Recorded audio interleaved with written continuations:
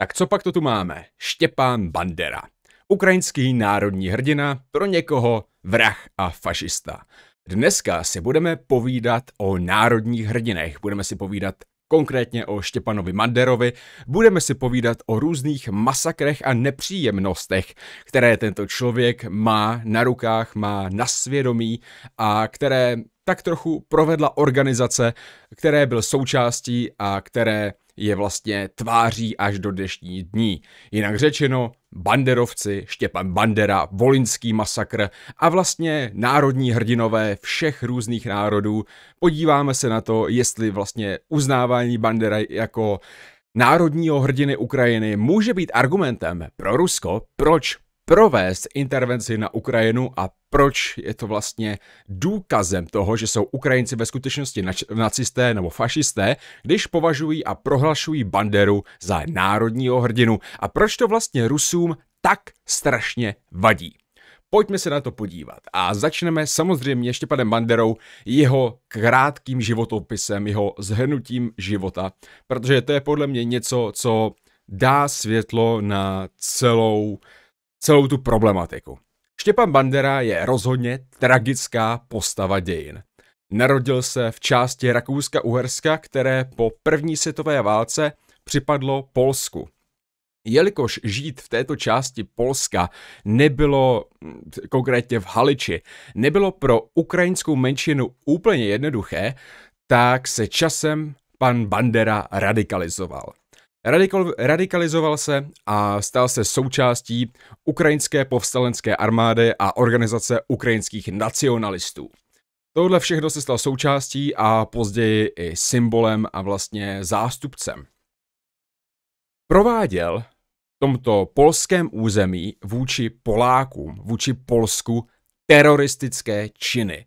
Je potřeba si to říct, to, co prováděl, byly teroristické činy.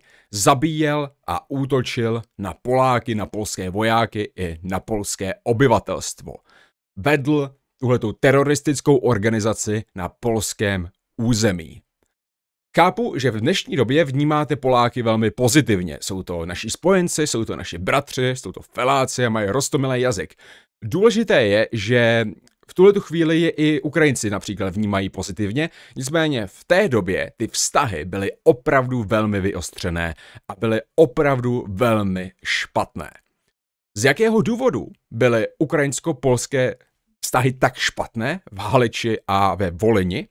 Bylo to z toho důvodu, že když tato část historického území Ukrajiny připadla po první světové válce po rozpadu, po rozpadu Rakouska-Uherska právě Polsku, tak Polsko začalo na těchto územích uplatňovat velice agresivní politiku. V té době bylo ještě náboženství velmi důležité a tak si dokážete představit, když Poláci začali brát Ukrajincům jejich náboženství a násilně je nutit ke katolictví, následně je násilně nutit k tomu používat polský jazyk a celkově vyhánět Ukrajince z téhleté polské části Ukrajiny, dejme tomu, a nutit, a, a nutit prostě Poláky a polské židy stěhovat se do této části, do této části, která vlastně byla obydlena Ukrajinci, tak si dokážete představit, když, že když tohle všechno polský režim vedený Piculským dělal, tak to mohlo vést ukrajinsko-polským konfliktům. A taktéž to samozřejmě vedlo k těmto konfliktům. Z tohohle všeho v podstatě vzešel Bandera. Z toho polského útlaku ukrajinského národa vzešel Bandera. Tím nechci obhajovat teroristické akce, chci je pouze vysvětlit. Zde vám vysvětluji, z jakého důvodu je Bandera teroristou a útočí na Polsko. Z toho důvodu, že Poláci utlačují Ukrajince, nutí jim katolictví, nutí jim polský jazyk a vyhánějí je. Jo, jsou vůči ním agresivní, jsou vůči ním nadřazení a celkově je pozice jasná, Polák je pán, Ukrajinec je rolník a dělník. Pozice je jasná, Bandera je radikalizovaný, nenávidí Poláky, miluje Ukrajinu, chce svobodnou Ukrajinu, chce, aby, na, aby Ukrajina měla svůj vlastní stát, stejně jako ho například získalo Československo, nebo konkrétně to Polsko. Ovšem, to se Ukrajiny úplně netýkalo, protože Většina Ukrajiny byla obsazena tehdy již sovětským svazem a ukrajinská část Rakousko-Uherska, jelikož většina Ukrajiny byla obsazena sovětským svazem, tak připadla nakonec právě Polsku a vlastně část Ukrajiny připadla i Československu, tedy Podkarpatská Rus. Jo, takže Ukrajina nevznikla, byla obsazena sovětským svazem, ona tedy krátce vznikla, ale následně byla obsazena, takže ta území, ta území připadla nám, připadla Polákům a tak podobně. No a v tomto prostředí tedy Bandera vznikl, radikalizoval se, páchal teroristické útoky a když pak přišla druhá světová válka, tak Bandera byl v Polsku ve vězení. Eh, byl ve vězení a začal samozřejmě spolupracovat s Němci. Začal spolupracovat s Němci, se kterými se spojil, aby škodil Polákům a jelikož tehdy ještě nebylo o Sovětském svazu cokoliv věděno, nebo tak něco o útok na Sovětský svaz se nic nevědělo, tak bylo především, šlo především o to, že Bandera škodil Polákům. Zároveň, zároveň Bandera chtěl po Hitlerovi, aby v podstatě stvořil samostatnou fašistickou Ukrajinu. K tomu se ale dostaneme. Když Bandera tedy pomáhal Němcům v tomhletom obsazování Polska, tak došlo k o něm velice nepříjemným incidentům. Ukrajinci tomu říkají tragédie, Poláci tomu říkají masakr a mluvíme samozřejmě o volení. Bylo to dost podobné, no dost podobné, teďka, teďka mě za to zabijete, ale já bych to přirovnal k odsunu Němců z, Česko, z českého pohraničí po druhé světové válce. Češi byli nasraní. Opravdu strašně nasraní na každýho jednoho zatraceného skopčáka. A úplně stejná pozice, úplně stejná nálada byla na Haličsku a na Volinsku. Zkrátka a dobře, Ukrajinci byli neskutečně nasraní na Poláky a rozhodli se, že prostě půjdou s těma Němcema. A ano, byla to chyba. Byla to tragédie, byl to masakr, je to zločin. Zavraždit člověka je zločin. Zavraždit desítky tisíc lidí je prostě zločin úplně jiné kategorie. Ale upřímně si myslím, že pokud říkáme o Ukrajincích, kteří zabíjeli Židy a Poláky v Haličsku a na Volini, že jsou to zločinci a vrazy, rozhodně bychom neměli s jiným metrem přistupovat k Čechům, kteří vraždili Němce v pohraničí po druhé světové válce. To je jedna z těch věcí, která bude podle mě v tomhle videu strašně kontroverzní, ale neměla by být. Když vraždíte velké množství lidí, kteří vás sice nasrali, ale vy jste ti, kdo vraždí, tak vy jste ti špatní. Takže Ukrajinci byli ve špatní, ale opět každý národ a i náš národ má tuhle tu opravdu nepříjemnou skvrnu ve svých životech. Jasně, my nepovažujeme vrahy z pohraničí za národní hrdiny, ale k tomu se ještě dostaneme. Bandera tedy po, eh, spolupracoval dál s nacisty, nacisté napadli, napadli sovětský svaz a Bandera si myslel, že pokud to půjde takhle dál, pokud to půjde dobře, tak nacisté, eh, nacisté sformují samostatnou Ukrajinu. To byl vlastně ten ultimátní cíl. On se rozhodl, Bandera se rozhodl spojit třeba i s ďáblem, aby konečně měl ukrajinský národ svůj, svoji vlastní zemi. Zemi, kde bude svými vlastními pány zemi, kde po nich nebude šlapat Polák nebo Rus. Zemi, kde prostě budou svobodní. A tak bojoval. Bojoval jako drak.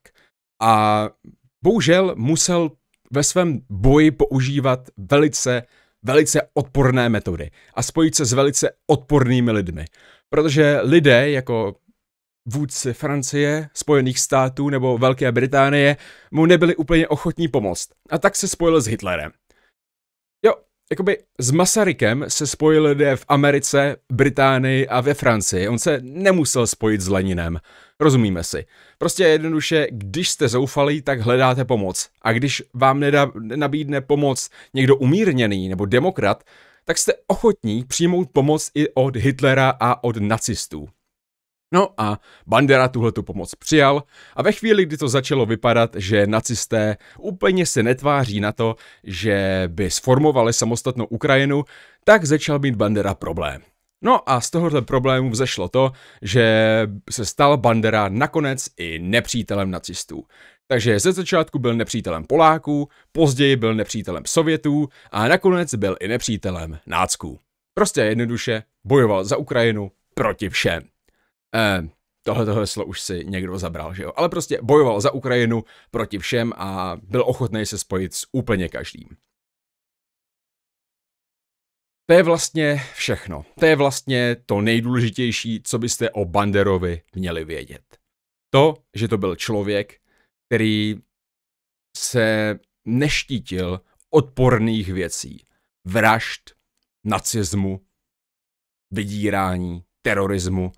A tohle všechno dělal pro ukrajinský národ, protože chtěl, aby vznikla svobodná Ukrajina. Ukrajinci si tohodle vraha a nacistu vzali a udělali si z něho národního hrdinu. Někoho, kdo bojoval za samostatnou Ukrajinu, někoho, kdo bojoval proti Sovětům. Sovětům, kteří mimochodem způsobili na Ukrajině ohromné množství utrpení.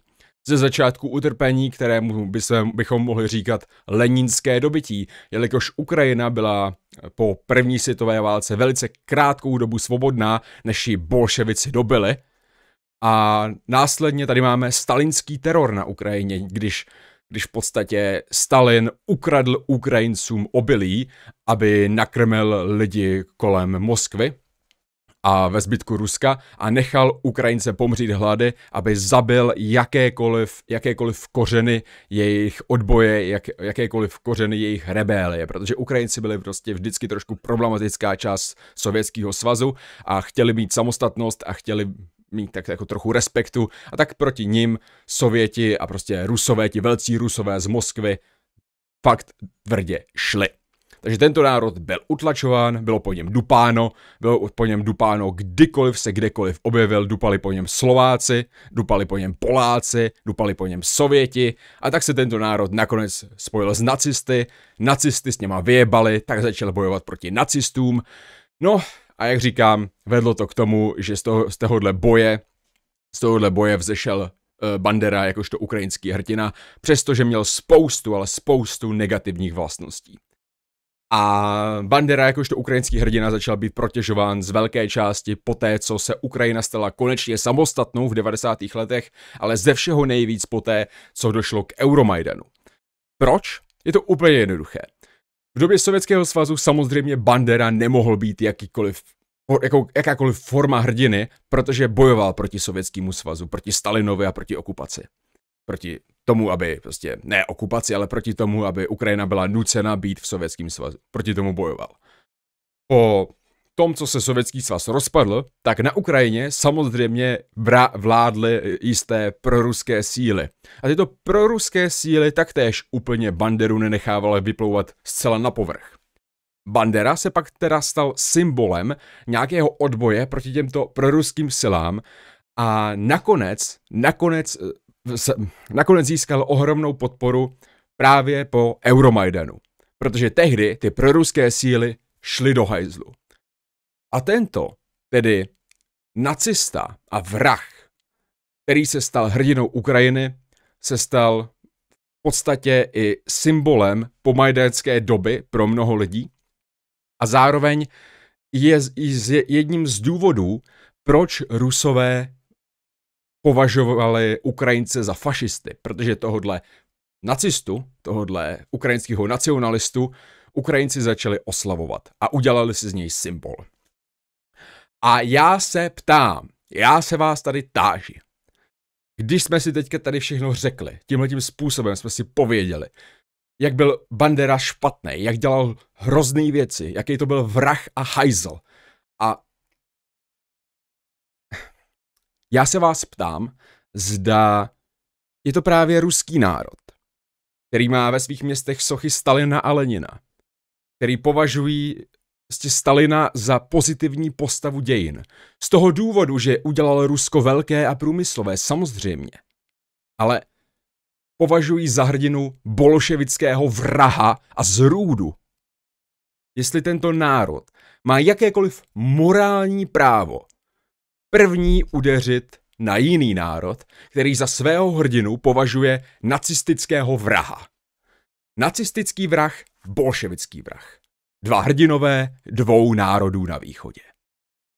Jediný rozdíl mezi jedním a druhým národem je ten, že jeden na ten druhý začal házet rakety jako první. A tehdy, tehdy přišlo rozhodnutí, že vlastně já jakožto člověk se raději postavím za národ, který má za svého hrdinu nacistu a lítají na něj rakety, než za národ, který má za svého hrdinu bolševika a posílá ty rakety. Takhle bych to řekl. Pak je ještě důležitý poslední bod. Úplně poslední bod. Mluvil jsem o, hes, o heslu proti všem. A není to náhoda. Zamyslete se sami nad sebou, nad českým národem. Není snad naším národním hrdinou Jan Žižka? Vrah, muž, který způsobil rozkol v českých zemích a upaloval kněze? Není snad britským národním hrdinou Winston Churchill? Imperialista, rasista a muž, který způsobil smrt milionů lidí hladem? Není snad francouzským národním hrdinou Napoleon? Fašistický diktátor, někdy tomu můžeme říkat císař, a velký vrah, který způsobil válku na evropském kontinentě? Není snad americkým národním hrdinou Washington? Otrokář? Ano, ano, je. A z jakého důvodu jsou tito lidé národními hrdinu svých národů? Z toho důvodu, že by Češi tak moc chtěli upalovat kněze a vraždit vlastně lidi na vesnicích? Z toho důvodu, že by francouzi tak moc chtěli vládnout světu, no možná ano, ale z toho důvodu, že by Britové byli rasisti a z toho důvodu, že by chtěli nechat zabíjet lidi v koloních hlady? Ne. Každý národ si z nějakého člověka udělal národního hrdinu z těch pozitivních důvodů. Stalin není ruský národní hrdina kvůli tomu, že by Rusové tak moc milovali zabíjení lidí a hladomor. Stalin je národní hrdina kvůli tomu, že porazil Hitlera a kvůli tomu, že udělal z Ruska a Sovětského svazu velmoc. Bandera není ukrajinský národní hrdina kvůli tomu, že by Ukrajinci tak moc milovali vraždění Poláků a Židů a hajlovali. Bandera je ukrajinský národní hrdina kvůli tomu, že bojoval za Ukrajinu. Ostatní nikdy nikoho nezajímalo. Stě Čechy nezajímá, že Žižka je stě negativní postava dějin. Z, třeba pro Maďary nebo pro Němce. Nás zajímá to dobré. My, se, my jsme si z něj udělali symbol. A symboly jsou, jsou z velké části, z velké části odloučeny od těch historických postav. Historické postavy jsou lidé a symboly jsou role. Role, které, kterou ti lidé hrají. To je asi k tomu, co bych chtěl říct. Takže je potřeba se koukat na celkový kontext a zároveň je důležité říci, že žádný národ nemá úplně čistou historii. Každý zločin, který je proveden, má nějaký motiv. A pokud je ten motiv nějakým způsobem ospravedlitelný, o, jakoby nějaký způsobem, nějakým způsobem aspoň trošku ospravedlňuje to konání, tak je to podstatě vlastně část ospravedlnění toho konkrétního činu. Ale pak je důležité, jestli ten motiv, jestli ten motiv považujeme za dostatečný nebo za něco, co by nás, co by to mělo obhájit, jo? Je spoustu motivů, některé více, některé méně pochopitelné. Ně, některé ospravedlňují čin více, některé méně. A to je vlastně to, co jsem chtěl říct. Doufám, že vám to dává aspoň nějaký smysl. Doufám, že jsem ve vás probudil nějaké otázky a třeba i nějaké pochybnosti o svých vlastních národních hrdinech. A doufám, že například národní hrdina jménem Jánošík, jo, rozumíte, rozumíte, co se tady snažím říct. Každý národ má národního hrdinu a být národním hrdinou, aniž byste zabili spoustu lidí, je fakt hodně těžký. Konec.